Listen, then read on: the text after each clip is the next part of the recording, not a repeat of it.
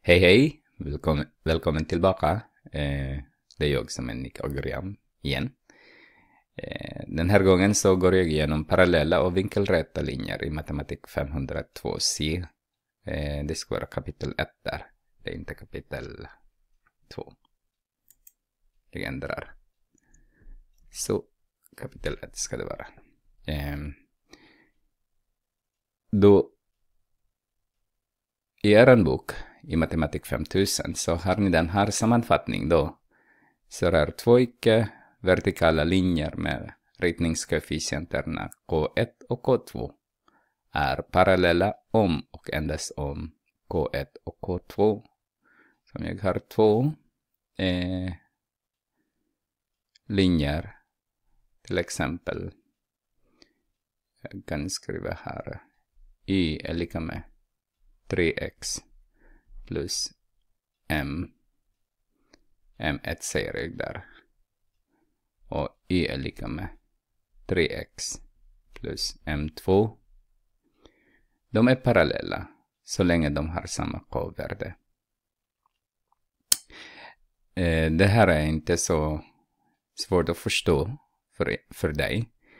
Eh, ibland använder jag eh, som illustration järnvägen spåret i järnvägen. Inte järnvägen i och för sig. Eh, spåret då. Som kommer aldrig att träffas. I princip. Eh, så är det parallella. Men eh, vinkelräta eh, betyder att de har. Linje 1 och linje 2 är vinkelräta betyder att de har 90 grader emellan sig. Eh, den står här att K1 och K2 är lika med negativ 1. Det vill säga K2 är lika med negativ 1 dividerat med K1. Alltså det negativa inverse heter den. Om man vill vara noga av eh, termerna, matematiska termerna. Det är den som jag skulle visa till er. Hur er bok förklarade med bevis. Så om jag kan ta fram här är min, min graf då. Jag kan, om man har ett linje från den punkten och den punkten ser vi, och det här är linjen nu. Eh, den kan fortsätta till höger och vänster. Och 90 grader av den naturligtvis är exakt samma sexan där. Men som vi har sagt förut är att om det är eh, om det är platta sådär, den lutar inte sig, så K är lika med noll. Och om det är eh, det horisontell linje, heter det. Och det vertikal linje, då kan vi inte definiera K. Så det är jättesvårt att bevisa på det här sättet. Så om jag ska flytta på något sätt den här punkten någonstans ditåt. Jag ska inte ändra den här punkten. Så jag ska bara flytta ditåt. Och då tänker jag så här att uh, den här punkten, om jag kan, den här linjen, om man ser så. Den här linjen, där, har k-värde, jag kallar den här linje 1. Se om jag kan ta fram. Den här är linje 1, ser jag. Så. Om jag har flyttat den två steg, två steg. Jag måste flytta den här punkten också två steg. Så det blir fortfarande eh, 90 grader. Annars blir det inte 90 grader mer. Så den, nu är det 90 grader. Så jag har en till linje som jag kallar för linje 2.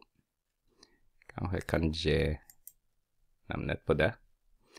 Som heter linje 2. L2. Nej. Den blev inte som jag har ångrat. Som jag har tänkt. Linje 2. Linje 2. Och tittar vi på eh, K på den här linje 1, så K för K1 ser vi här nu då, K1. Eh, jag ska ta fram den igen. Om vi kallar den här, den här, för Y1. Och den här, är i, kallar vi. Ångra, så i. Och den här.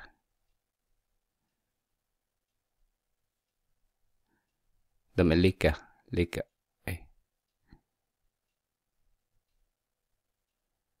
Händer nu? Den här.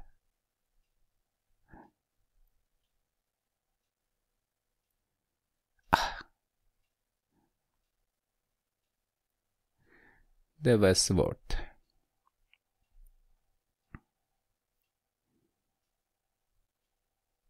den, de är lika, lika långa, så kallar vi också i.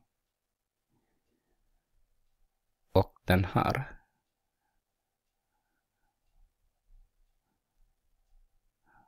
Och den där.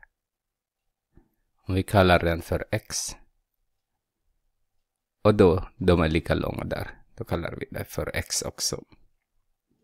Och vi har sagt förut att k-värde är y, förändring i y dividerat med förändring i x. Så k1 måste vara y dividerat med x. Och k2, om vi kollar en gång till, är förändring i y som är positiv x och sen förändring i x som är negativ y så har vi lika med negativ x dividerat med negativ y.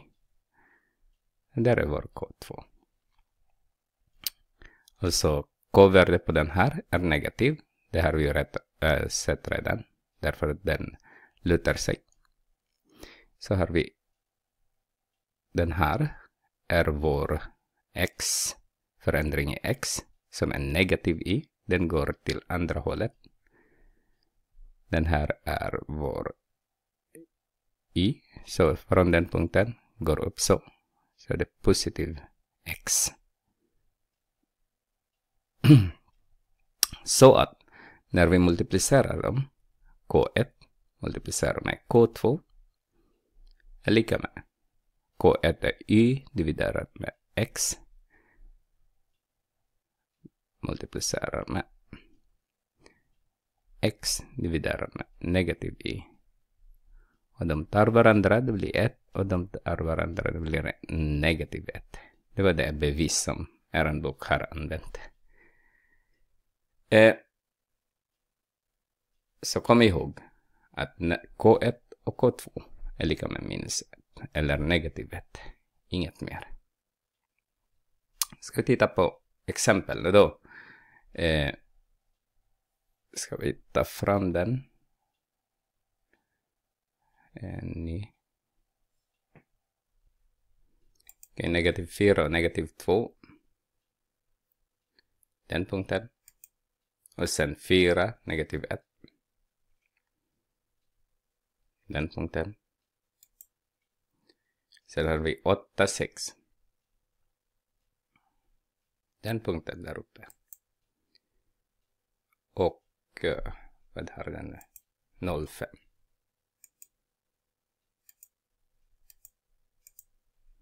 Noll fem. Fyra negativ två. Fyra negativ ett. Noll fem där. Så. Så att deras, den här, deras diagonal, visar diagonalerna AC